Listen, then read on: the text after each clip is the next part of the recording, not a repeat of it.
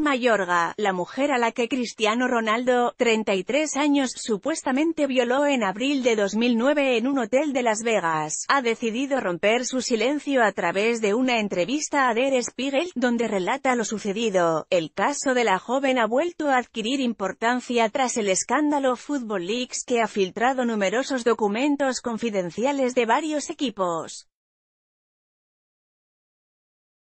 En estas filtraciones quedaría constancia de que el portugués habría pagado 375.000 euros para comprar el silencio de Catherine Mayorga, quien llegó a firmar un acuerdo. La joven estadounidense, de cabello largo y oscuro y ojos verdes, desvela en la entrevista al medio alemán que firmó por miedo a ella y a su familia, y por impotencia y la incapacidad de hacerle frente, ver esta publicación en Instagram vitamina de una publicación compartida por Cristiano Ronaldo, arroba Cristiano, el 9 de septiembre de 2018 a las 4 y 7 de la madrugada PDT las consecuencias de este suceso todavía le afectan, según ella misma comenta.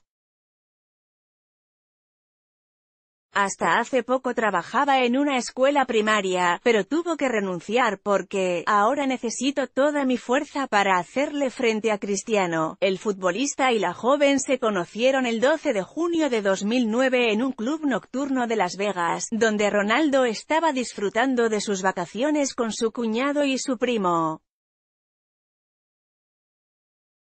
Era un gran momento para Cristiano, que a su temprana edad había sido fichado por el Real Madrid por la astronómica cifra de 94 millones de euros. Catherine trabajaba en ese momento como modelo, y una de sus labores era situarse junto a otras mujeres bellas frente a los bares para atraer a los invitados.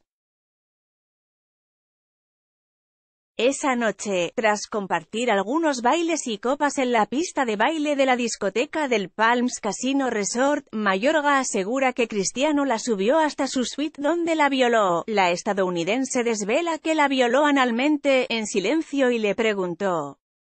si sentía dolor, se puso de rodillas y me dijo, el 99% de mí soy un buen tipo, no sé qué pasa con ese 1%, comenta, ver esta publicación en Instagram Challenge, The Rules by Making Your Own.